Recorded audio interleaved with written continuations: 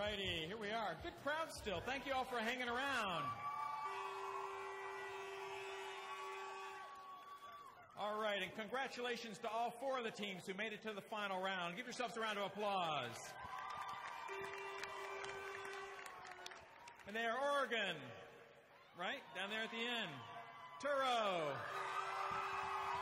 DeSales, and Wisconsin. Was that? Touro and Oregon, DeSales, and Wisconsin. We have to be equal opportunities. All right, here we go. Remember, this is not an audience participation. We need to let them give the answers, okay? This is round three. The questions are tougher than they were in round two. Um, and um, what was the other thing I was going to say? There's 15 questions in this round, okay? So you have more time to make up lost ground. So, yeah, okay. So let's begin with question number one. A collection of fluid that results from a defect in the tunica vaginalis is known as DeSales. Hydrocele. That is correct.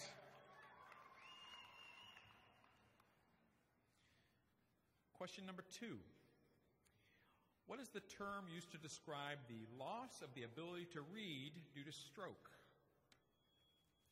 Down in the end there, Oregon.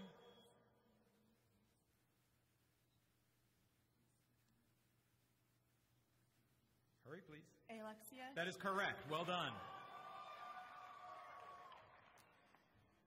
Make sure you speak into the mic too. Good job. Question number three. What is Beck's triad? DeSales. Hypotension, JVD, and muffled heart sounds. Yes, that's correct. Well done. Question number four. What pulmonary condition is associated with scrofula? DeSales. Tuberculosis. That is correct.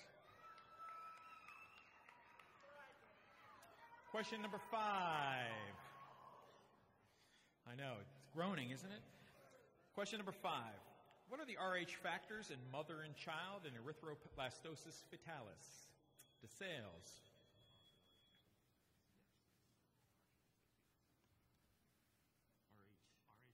RH. RH negative mom with an RH positive fetus.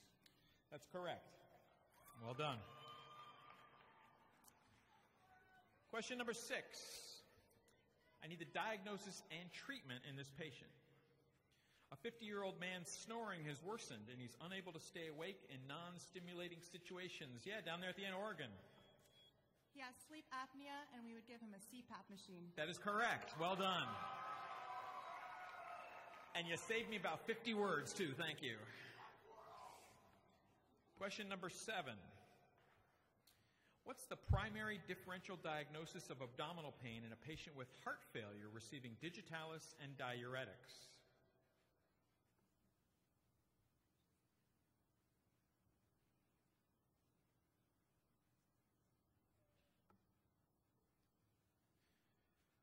Time's up. We were looking for the primary differential diagnosis of abdominal pain, heart failure, digitalis, diuretics. It's non occlusive mesenteric ischemia, is the answer we were looking for.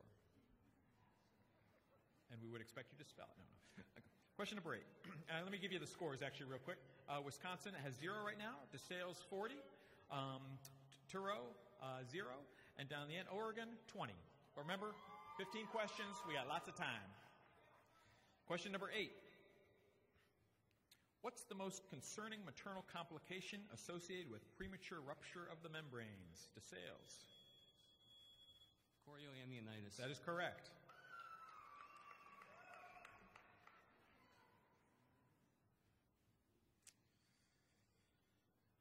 Okay, question number nine. 34 year old woman has had frequent episodes of bronchitis and three episodes of pneumonia in the past five years. Between episodes, she has persistent cough producing yellow phlegm. She's been treated for multiple episodes of sinusitis. The patient is 64 inches tall, weighs 100 pounds, thorax is hyperresonant to percussion, and has diminished air movement bilaterally. There is digital clubbing. The sweat chloride test is positive. Wisconsin. Cystic fibrosis. That's correct. Question number 10. What's the most common term used to describe persistent hypocalcemia and hypophosphatemia, often with tetany? Yes, Touro.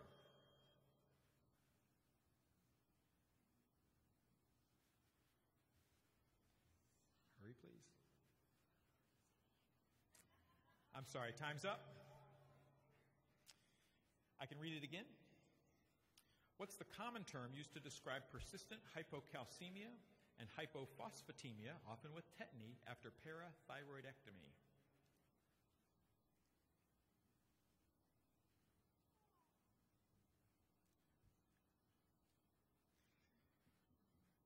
Okay, what we were looking for was hungry bone syndrome. I know, third round, they're tough. the judges are booing. Boy, that's something. Okay, question number 11. Percussion of an infant's parietal bone that produces a cracked pot sound is known as what sign?